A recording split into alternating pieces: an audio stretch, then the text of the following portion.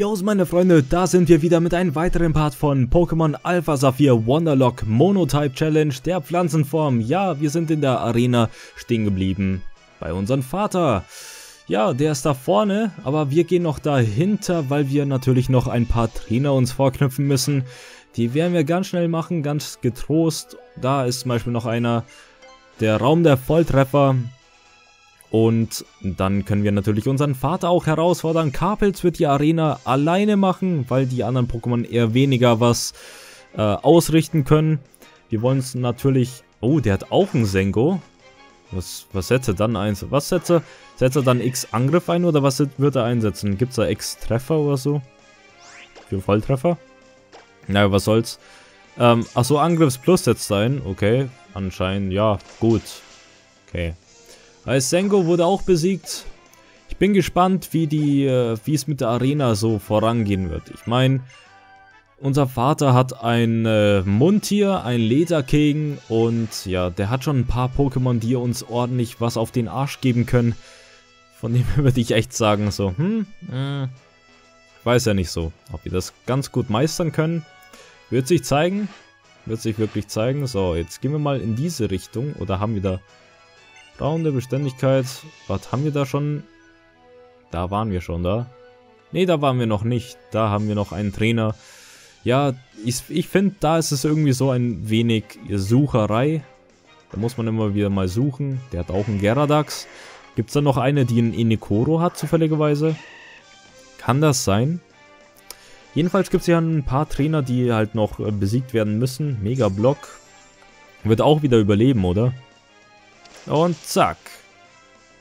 Ja, ein Volltreffer wird er nicht überleben. Ein Volltreffer ist natürlich eine andere Sitte.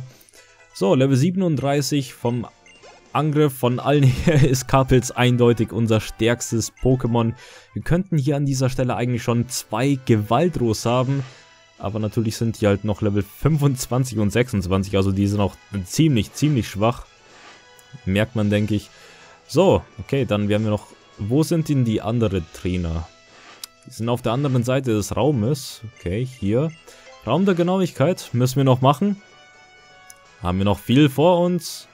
So, noch zwei Türen. Echt, haben wir noch zwei Türme vor uns? Warte, ich gehe aber zuerst nach außen. Ich denke, dann haben wir sogar alles. Dann sollten wir sogar alles haben, normalerweise. Ja, es gibt noch einen Enikoro. Damit ist meine Frage erledigt. Enikoro wird sich aber nicht durchsetzen können. Wir müssen dann, wenn wir alle Trainer besiegt haben, müssen wir dann nochmal ganz kurz äh, die AP heilen. Weil ich würde gern, dass also ich hätte schon gern, dass Kraftwelle volle AP hat. Dass ich Kraftwelle auch wirklich, ähm, ja, öfters einsetzen kann.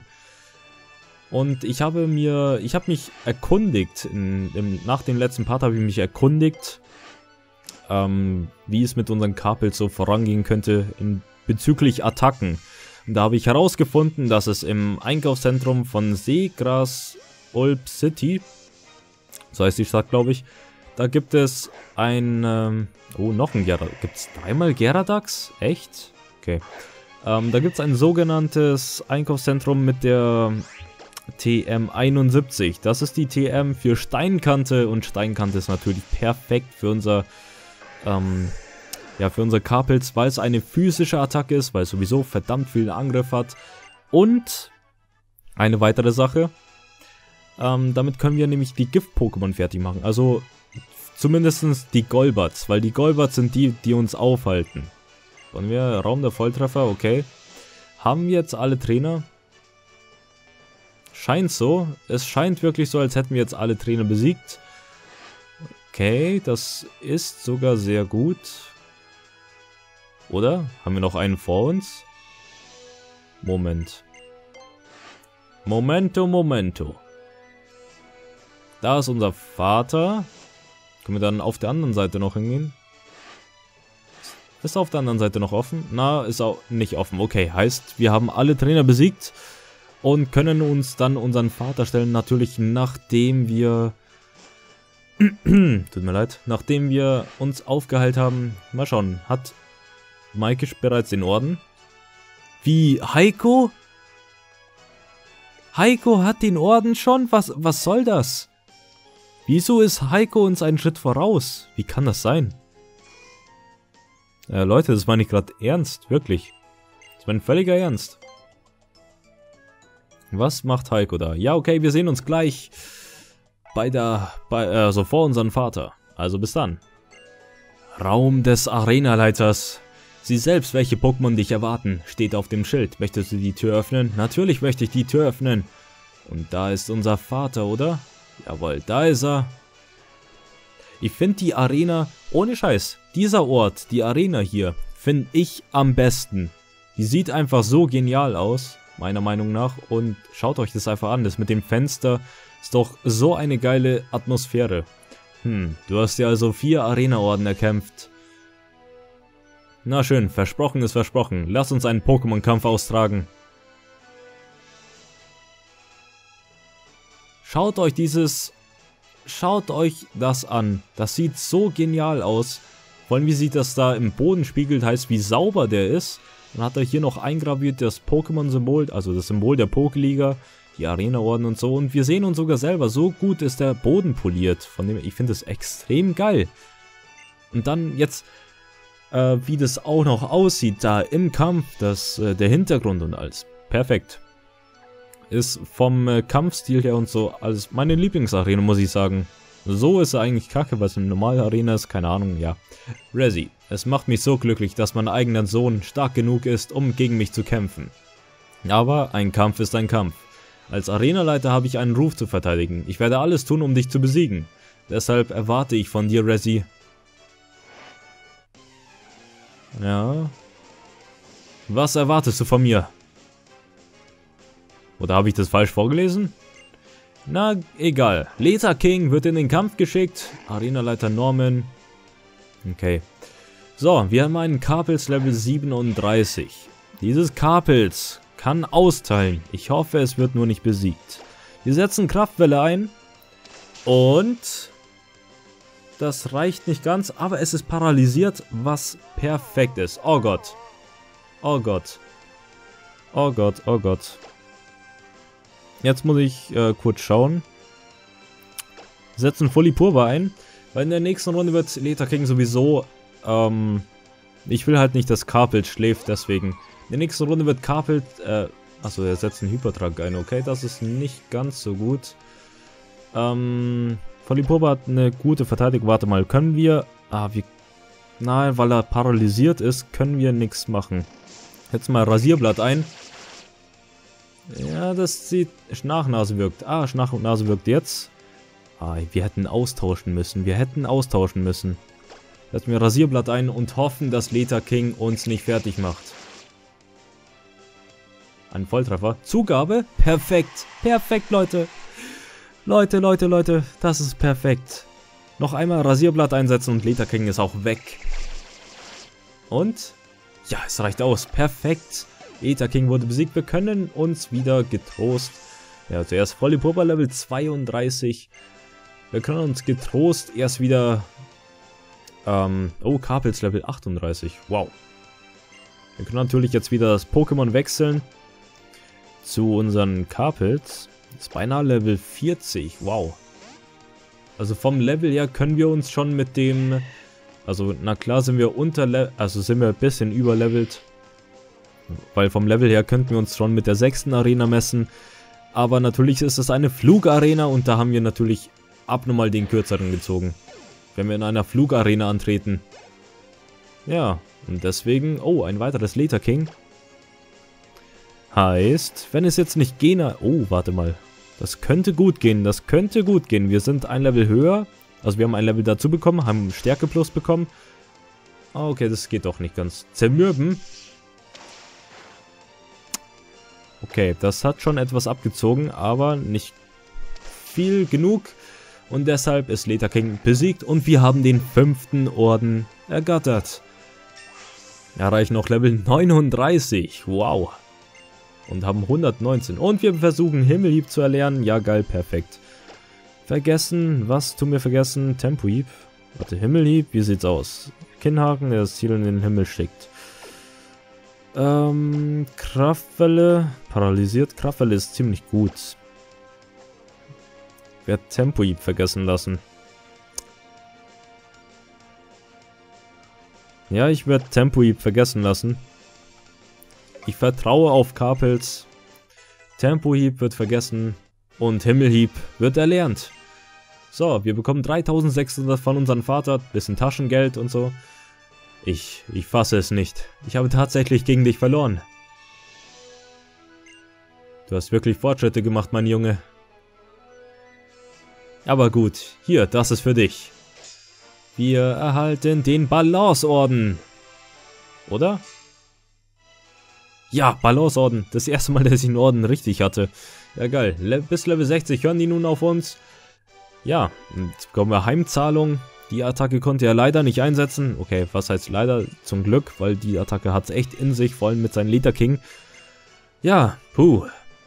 Ich muss schon zugeben, als Arenaleiter kann ich meine Frust gerade nur schwer verbergen. Aber als sein Vater habe ich gemischte Gefühle. Einerseits bin ich natürlich stolz auf dich, aber andererseits stimmt es mich auch ein bisschen traurig. Mein eigener Sohn hat mich fertig gemacht. Wie scheiße bin ich denn eigentlich? Ungefähr so. Na gut, Resi. Oh, er lächelt. Ich bringe dich noch schnell raus. Komm, gehen wir. Ich schmeiß dich aus meiner Arena raus. Verpiss dich. Oho, das ist Heiko. Resi, Arenaleiter Norman. Ja, dieser kleine Pimp hat's echt geschafft, Mann. Oh Gott. Was für ein Zufall. Euch beide habe ich schon lange nicht mehr gesehen. Ich bin hier nur auf Durchreise, auf der Durchreise, weil ich daheim etwas vergessen hatte. Du legst dich richtig, richtig ins Zeug, stimmt, Heiko? Das sehe ich dir auch ohne zu kämpfen sofort an. W wirklich? Das bedeutet mir wirklich viel. Vielen Dank. Ah, du bist Resi, stimmt's? Ich bin Heikos Vater. Wie ihr sehen könnt, ist Heiko wieder gesund und munter. Das haben wir allein dir und deinem Vater zu verdanken. Wieso, war der krank oder wie? Ihr beide wart ja schließlich, ihr beide wart es schließlich, die Heiko damals dabei geholfen haben, sein erstes Pokémon zu fangen. Ohne ein Pokémon, das er seinen Freund nennen kann, wäre er heute wohl immer noch schwächlich und krank. Ich bin euch also wirklich zu Dank verpflichtet. Also okay. Ja, sieht auch so zierlich aus und alles. Hm, weißt du was?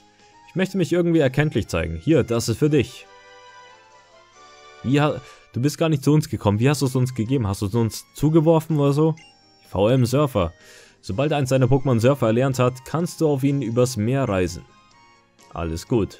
Resi, wenn ihr wissen wollt, wie stark ihr wirklich seid, schlage ich vor, dass du und Heiko hinter Route 118 das Meer überquert. Dort im östlichen Teil Höhens leben noch stärkere Pokémon und Trainer. Ich wünsche euch beiden viel Erfolg. Verstanden. Dann werde ich mich bemühen, mit Resi mitzuhalten. Na gut, Papa, ich mache mich langsam auf den Weg. Bis bald. Komm, Resi, dann wollen wir mal.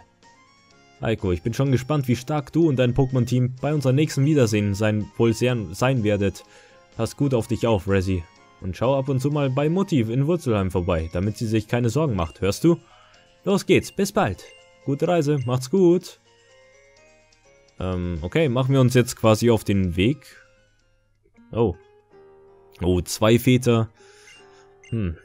Die verstehen sich, schon seltsam, hm? Ich habe gemischte Gefühle, wenn ich sehe, wie schnell mein Junge erwachsen wird. Einerseits bin ich natürlich stolz auf ihn, aber andererseits stimmt es mich auch etwas traurig. Haha, na was für ein Zufall. Ich habe vorhin genau das gleiche gesagt. Haha, was sie nicht sagen. Aber soll ich Ihnen etwas verraten? Solange ich, solange er nur weiter zu einem munteren Erwachsenen heranwächst, bin ich wunschlos glücklich. Ja, ich weiß genau, was Sie meinen. Ja, stolze Väter sind schon was Gutes. So, okay. Wir sind anscheinend echt nicht weit gekommen. Okay, Norman sagte, wir sollen uns unsere Reise auf Route 118 fortsetzen, stimmt's? Schalten wir am besten mal das Kartennavi ein. Aha, Route 118 liegt also östlich von Malvenfroh City. Resi, wo wir zwei schon mal hier sind, können wir gemeinsam nach Malvenfroh City aufbrechen. Schließlich führt mich mein Weg auch nach Route 118. Okay. Wir werden nach Malvenfroh City gebracht und zugleich zum richtigen Weg. In dieser Richtung liegt Route 118. Ich bin schon total gespannt, was für Pokémon mich da erwarten. Ich gehe schon mal voraus, Resi. Wenn wir uns das nächste Mal über den Weg laufen, müssen wir uns unbedingt, müssen wir unbedingt wieder kämpfen. Versprochen, versprochen. Okay, anscheinend, der macht's einfach aus. Oh, wir reden ja nicht. Also wir hätten schon mal Nein sagen können. Gut, okay, jetzt müssen wir da lang und dann... Wir wollen natürlich in die Mitte na, oder warte, wir wollen dahin, genau. So, da ist der Eingang. Wir wollen unsere Pokémon natürlich heilen, bevor wir aufbrechen. Und wir müssen unseren schönen, treuen Freund natürlich noch eine Attacke erlernen, die sich zufälligerweise Surfer nennt.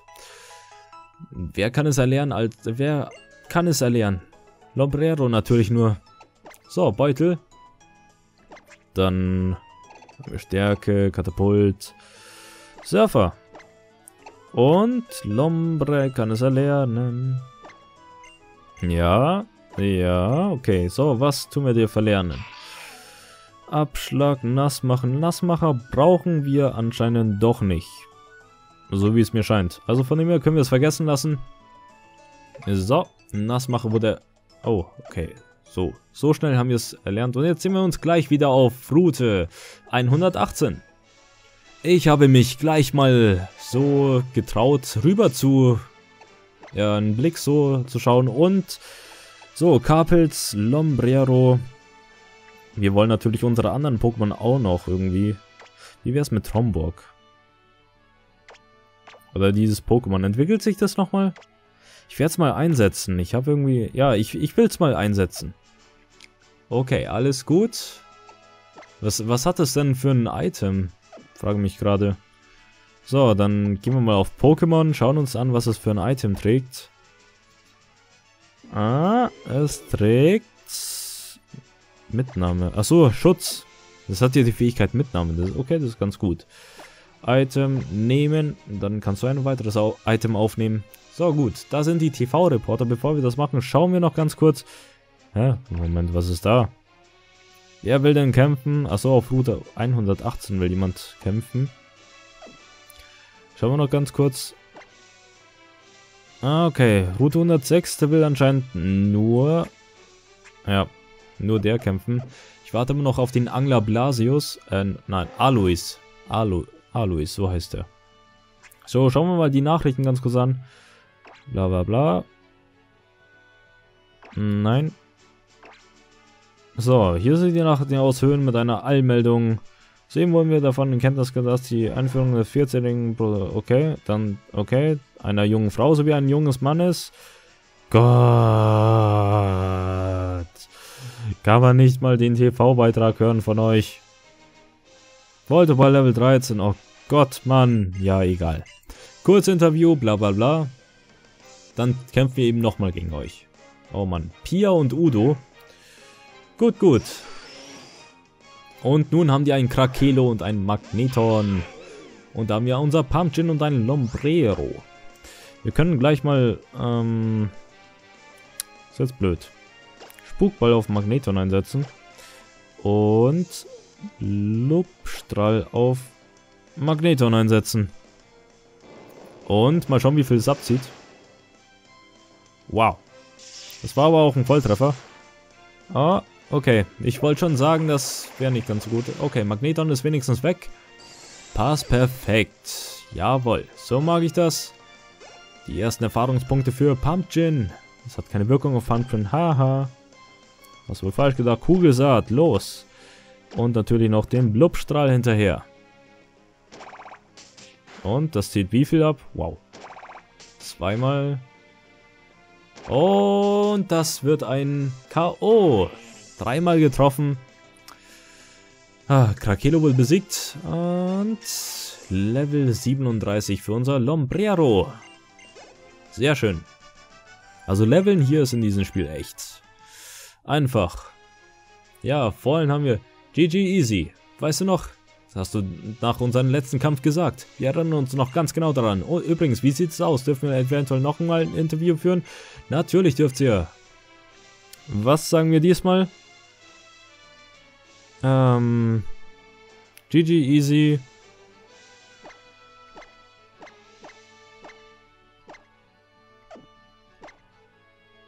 GG easy again. Ja, das passt perfekt. Wir werden deine Tra äh, Karriere als Trainer im Auge behalten. Alles klar, okay. So. Ich würde sagen, wir beenden den Part an dieser Stelle hier auf dieser Route, auf dieser wunderschönen Route. Dort erwarten uns neue Abenteuer. Wir haben unseren Arenaleiter besiegt, also unseren Vater besiegt. Von dem her passt es perfekt. Ich würde sagen, wir sehen uns beim nächsten Mal. Bis dahin, tschaußen, Resi out und ciao ciao. Haltet die Ohren steif. Bis demnächst.